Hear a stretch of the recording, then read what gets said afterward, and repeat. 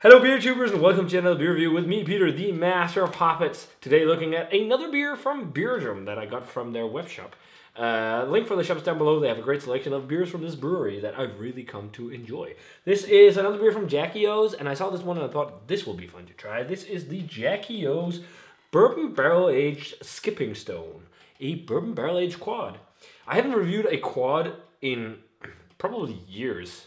Think the last time maybe I reviewed a quad was when I did the blind tasting of quads with my dad of Westy 12 and Abt 12 from St. Bernardus and uh, uh, what's it called? Rochefort 10, even though I don't think it's technically classified as a quad. But this will be fun. American quads, they can be really nice. They can also be a bit off, but this will be fun. This is a 12% quadruple aged in bourbon barrels Apparently, in 2011, Jackie O's started experimenting with uh, Trappist yeast.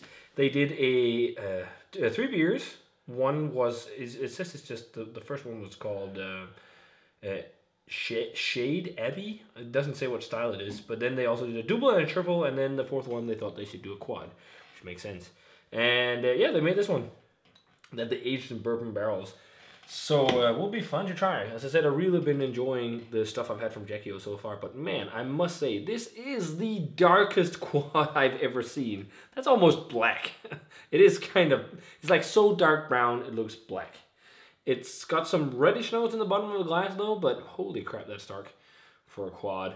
Uh, the head when I just poured it was really nice, like big foamy head as you see on a lot of Belgian beers, like the authentic Trappist beers, that kind of nice a slightly tan beige-ish kind of head, but man, that is dark. I wonder though, like if this has like candied sugar or something something like that, but because often you find that in some of these Belgian quads, it doesn't say anything. It just says that it has nose of caramel, dark fruit, spice, and oak, and I guess bourbon. But we'll be fun to try it. So let's check out the aroma on bourbon barrel aged skipping stone.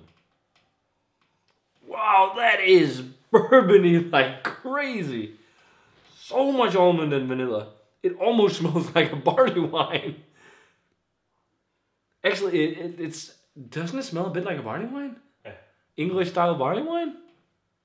Like because it's so drenched in bourbon. I, I can see underneath though like Belgian character, like a spicy note and uh, almost like banana. You sometimes get that with the esters from Belgian yeast.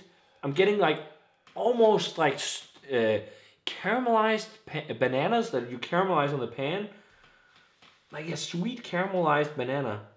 Maybe even a hint of a butterscotch toffee.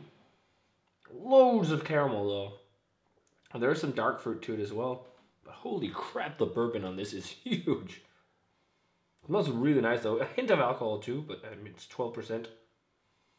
Yeah, that banana, I really get that now. Like caramelized banana. Even like a little bit of a phenolic spice. Uh, like maybe black pepper or something. But hmm, smells pretty cool. It smells similar to almost like hybrid between quad and like English style barley wine. But let's give it a taste, guys. Cheers. And thanks a ton to Beergium for the beer.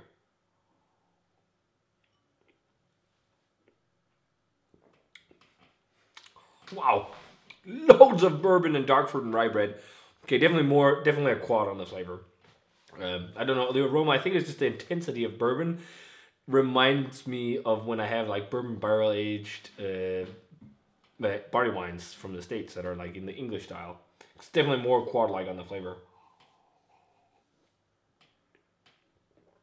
Huge bourbon flavor though. Holy crap! Loads of vanilla and almond. Um, nice medium mouthfeel. Not as effervescent as some quads. Quads, I feel like, in Belgian beers are often very more, much more carbonated than this.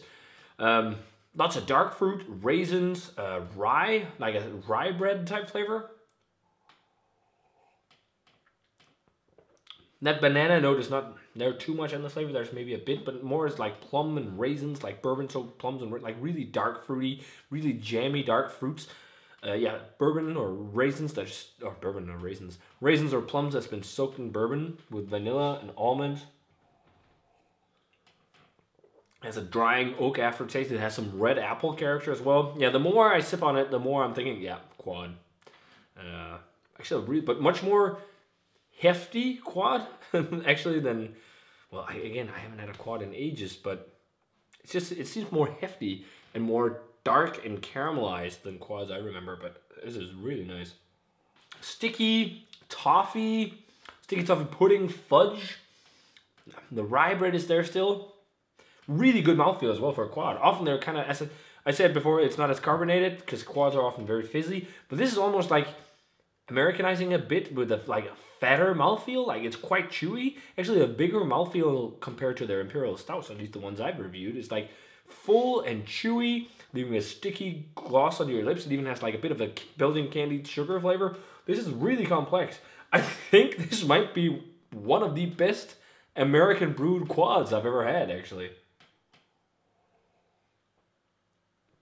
Even though it's a bit too dark and even though it's got a bit of almost like barley wine type characters but it's just there's still that essence of belgian yeast flavor and phenolics and, and esters that you expect from a style like this. Like the spice it's got like a spiciness it's like pepper and like maybe allspice or something like maybe even slightly clove uh, not nah, yeah clovey yeah clovey like almost. And then like this spicy type rye and the fruity dark fruity flavors it's really good. Red apples, very complex. Get on the aroma, really getting that like caramelized banana. Really nice stuff, guys. Wow.